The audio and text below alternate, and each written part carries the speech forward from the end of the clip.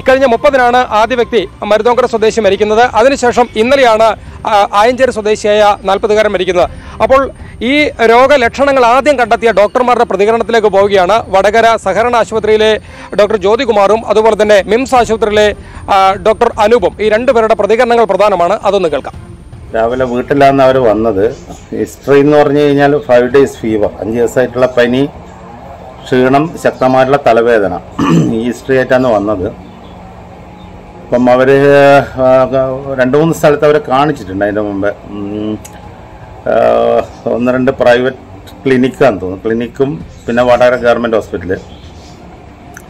അപ്പോൾ അതിൽ കുറച്ച് ടെസ്റ്റുകൾ ചെയ്തിട്ടുണ്ട്. അപ്പോൾ അതിൽ നിന്ന് കാണുന്നതെന്ന് വെച്ച് കഴിഞ്ഞാൽ നമ്മൾ മെഡിക്കൽ ടേം ബൈസൈറ്റ് ഒപ്പീനിയാന്ന് പറയുന്നത് അതായത് പ്ലേറ്റർ കൗണ്ടും ടോട്ടൽ ഡബ്ല്യു ബി സി കൗണ്ടും കുറവ്.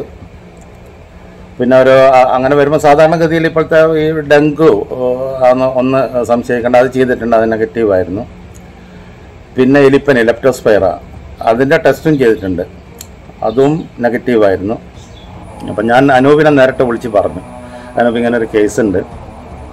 Patient fever five days fever with ത്രോംബസൈറ്റോപ്പിനിയാണ് അതായത് പ്ലേറ്ററ്റ് കുറയുന്ന കണ്ടീഷൻ പേഷ്യന്റ് സിക്കാണ് അതിന്റെ ഇടയ്ക്ക് ഞാനൊരു ഇത് രണ്ടും നെഗറ്റീവ് എന്ന് പറഞ്ഞപ്പോൾ ഞാൻ എക്സ്റേ എടുത്ത് നോക്കിയായിരുന്നു. ചെസ്റ്റ് എക്സ്റേ അതിലൊരു ഒരു പ്രത്യേക ന്യൂമോണി അങ്ങനത്തെ ഒന്നും കണ്ടിട്ടില്ല. കുറച്ചൊരു കഞ്ചക്ഷൻ അപ്പോൾ നമ്മളെ റേഡിയോളജിസ്റ്റിനെ കാണിച്ചു എക്സ്റേ അപ്പം റേഡിയോളജിസ്റ്റ് പറഞ്ഞാൽ നമുക്ക് വേണം സി ടി സ്കാൻ അപ്പോൾ എനിക്ക് എന്തോ ഒരു പന്തികേട് തോന്നി. ഇപ്പം വീണ്ടും വീണ്ടും നമ്മൾ ഓരോരോ ടെസ്റ്റിന് ഇങ്ങനെ ഇപ്പം സി ടി എടുത്ത് കഴിഞ്ഞ് കഴിഞ്ഞാൽ പിന്നെയും ഡിലേ വരും. പേഷ്യന്റ് കുറച്ച് സിക്കുവാണ് അതുകൊണ്ട് നമ്മൾ കൂടുതലും നമ്മളിവിടെ സമയം ചെലവഴിക്കുന്നതിനെക്കാട്ടും എനിക്ക് തോന്നിയത് കുറച്ചുകൂടി കെയർ അല്ല കൊട്ടറ ആ സ്റ്റേജിൽ ആ ഫെസിലിറ്റിയുള്ള ഹോസ്പിറ്റലിലേക്ക് പോയി കഴിഞ്ഞാൽ കുറച്ചുകൂടി രോഗിക്കും ഗുണമായിരിക്കും.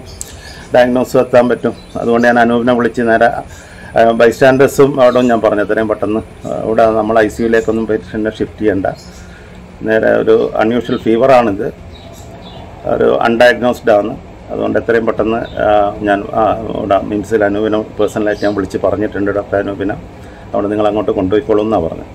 ഒരു കുടുംബത്തിലെ തന്നെ മൂന്ന് കുട്ടികളും ഒരു അഡൽട്ടും ഒരു മുതിർന്ന രോഗിയും ഈ പനി സംബന്ധമായ രോഗലക്ഷണങ്ങളുമായിട്ട് ആസ്ട്രോമിംസിൽ അഡ്മിറ്റ് ആവുകയാണ്. മൂന്ന് കുട്ടികൾ പീഡിയാട്രിക്സ് വിഭാഗത്തിലാണ്. മറ്റൊരു കുട്ടി ഈ പൾമനോളജി മറ്റൊരാൾ പൾമനോളജി വിഭാഗത്തിലാണ് അഡ്മിറ്റ് ആയത്.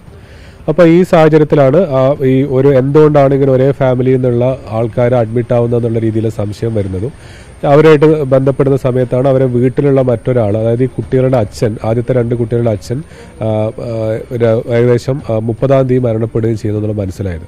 അപ്പം നമ്മൾ കഴിഞ്ഞ രണ്ടായിരത്തി പതിനെട്ട് പോലെ തന്നെ ഈ അൺയൂഷ്വൽ ക്ലിനിക്കൽ സിംറ്റംസ് ക്ലസ്റ്ററിങ് പിന്നെ ഒരു contact with an index case ഈ മൂന്ന് പോയിന്റ് വെച്ചിട്ടാണ് നമുക്ക് ഇതേ രീതിയിലേക്കുള്ള ഒരു നിപ്പ പോലെ ഒരു രോഗത്തിന്റെ സംശയം വർദ്ധിക്കുന്നതും. ഏകദേശം അതേ സമയത്ത് തന്നെയാണ് ഈ ഇവരുമായിട്ട് ബന്ധപ്പെടാത്ത വടകര ആയഞ്ചേരിയിലുള്ള മറ്റൊരു രോഗി. ഇവരായിട്ട് യാതൊരു രീതിയിലും ബന്ധം ഉണ്ടായിരുന്നില്ല ഈ പനി വരുന്നു. മൂന്നാമത്തെ ദിവസം ശ്വാസതടസ്സം കൂടുന്നു. ശ്വാസതടസ്സം വർദ്ധിച്ചപ്പോൾ വടകര ഒരു സ്വകാര്യ ആശുപത്രിയിൽ നിന്ന് കോഴിക്കോട് ആശ്രമ മിംസിലേക്ക് മാറ്റുന്നു. ഇവിടെ എമർജൻസി എത്തിയപ്പോൾ തന്നെ വളരെ ഗുരുതരാവസ്ഥയിൽ എത്തിയ രോഗി ഉടനടി തന്നെ രോഗി മരണപ്പെടുന്നു. നമുക്കൊരു ചികിത്സ തുടങ്ങാൻ പറ്റുന്നതിന് മുമ്പ് തന്നെ രോഗി ഹൃദയ ഹൃദയസ്തംഭനം വരികയും മരിക്കുകയും ചെയ്യുന്നത്. അപ്പോൾ അവരതും സാധാരണ ഒരു ന്യൂമോണിയ നമ്മൾ സ്ഥിരമായിട്ട് കാണുന്നതാണ്. അപ്പോൾ അതിനേക്കാളും കൂടുതലായിട്ടാണ് അവരെ ആ രോഗം മൂർച്ഛിക്കുന്നത്.